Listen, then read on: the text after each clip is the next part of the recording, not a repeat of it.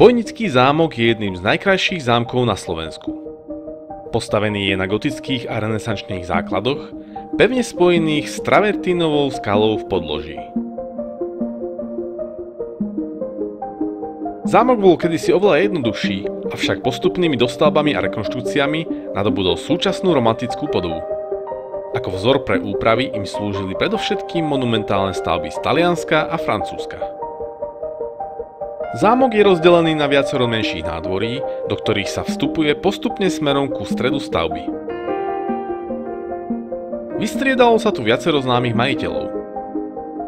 Medzi nimi bol Matúš Čák Trenčiansky, Ján Korvín syn Mateja Korvína, neskôr to bol rod Zápolských, Turzovcov a nakoniec rodina Palfiovcov. Dnes je zámok súčasťou Slovenského národného múzea a v jeho priestoroch je možné nájsť nesmierne množstvo umeleckých artefaktov. Nachádza sa tu aj zlatá sála, ktorej strop je vyzdobený lístkovým zlatom a veľa ďalších zaujímavých miestností, ako napríklad spálňa s praktickým dobovým telefónom, s muzikou na chodbe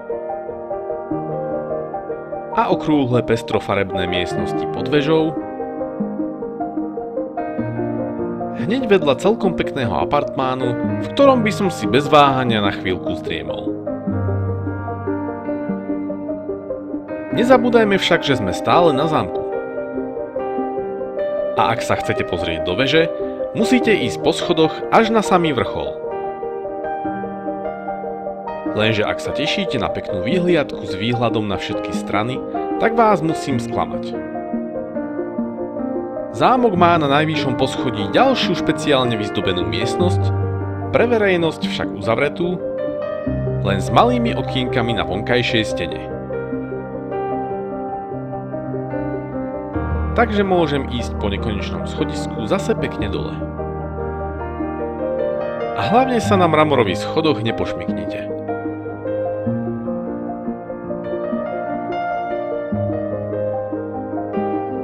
Zámok má však pre vás pripravených aj niekoľko naozaj zaujímavých prekvapení. V nádherne vyzdobenej kaplnke sa nachádza známy bojnícky oltár a turínske plátno. Nie však originál. Toto je len veľmi dobrá kópia.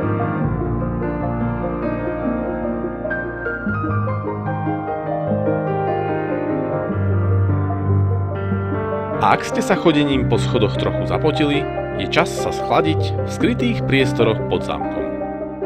Tu sa nachádza sarkofág z červeného mramoru, v ktorom odpočíva posledný majiteľ zámku, gróf Ján Pálfi.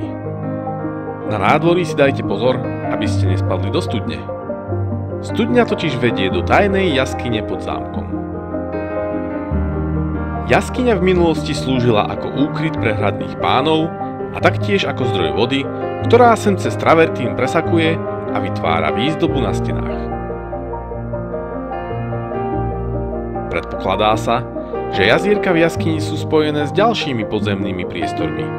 Tie však musíme ešte len objaviť.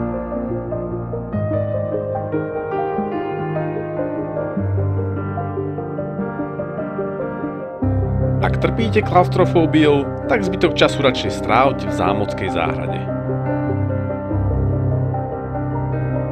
Má krásny výhľad do hradnej priekopy. Nebudem tu spomínať zoologickú záhradu, s ktorou zámok susedí. V jeho tesnej blízkosti však neprehliadnite lipu kráľa Mateja, ktorá má vraj až 700 rokov. Ak budete mať cez víkend čas, tak výlet na Bojnícky zámok určite neultujete.